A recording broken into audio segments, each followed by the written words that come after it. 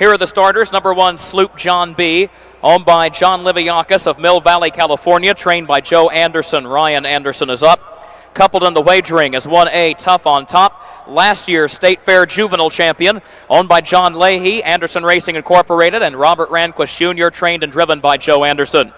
Two is I Just Want to Fly, owned by the OK Corral of Elmhurst, trained by Katrina Rucker, Eric Ledford in the bike. Three is Ideal Performer, co-owned by trainer James Rowney of Marseilles and by TJ Creedon III of Ottawa, Illinois. Rick Schrock is the driver. Major Tsunami, number four, owned by R.C. Clavey, J.L. Marks, and J.R. Pennick of Huntley and Lincolnwood, trained by Don Nolan, Dave McGee in the bike. Five, Klingon Warrior, owned by Perfect World Enterprises of Old Westbury, New York. Tom Harmer, the trainer, and Tony Morgan is in the bike. And number six, Altamonte, owned by Sharon Higgs of Altamont, trained by Roy Finn, and he is the driver. Race 15 is three minutes from eighth of a mile from the start. Looking for three more qualifiers from this 15th race, third division of the sophomore Colt and Gelding Pace. Here they come.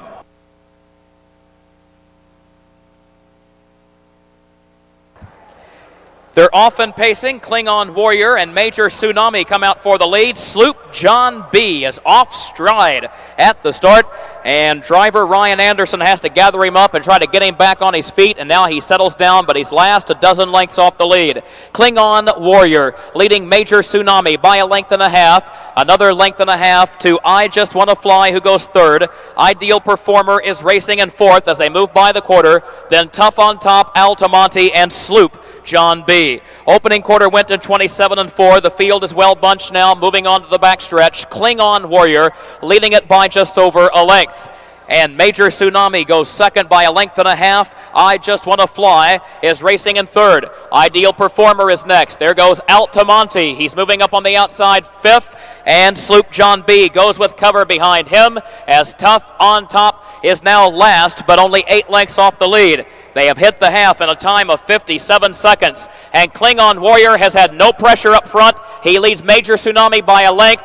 Altamonte is still parked with no cover. He's third on the outside. And he has Sloop John B coming with him on the outside as well. I Just Want to Fly is trapped toward the rail in the fifth spot. Then Tough on Top on the outside of Ideal Performer, and they're at the three quarter, and they're being led by Klingon Warrior. He leads it by a length. Altamonte second. Sloop John B. angles three wide from third. Major Tsunami is a close up fourth, but he needs room. Three quarters and 126 and three. Klingon Warrior leading Sloop John B. off the far turn. Tough on top is out in the center of the track. Major Tsunami is still there toward the inside, but Klingon Warrior leads it by two. Klingon Warrior by two and a half.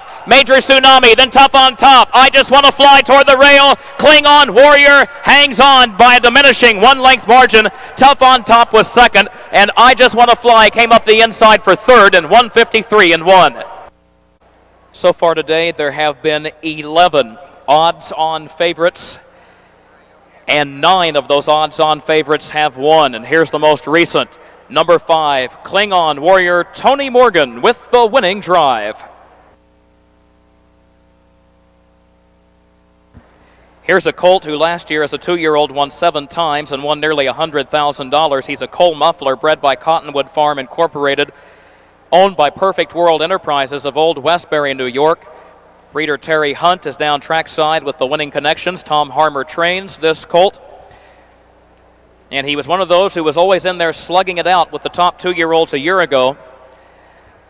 And now he picks up his first victory of this season after racing in some very tough competition in Canada and on the East Coast earlier in the year. It is official.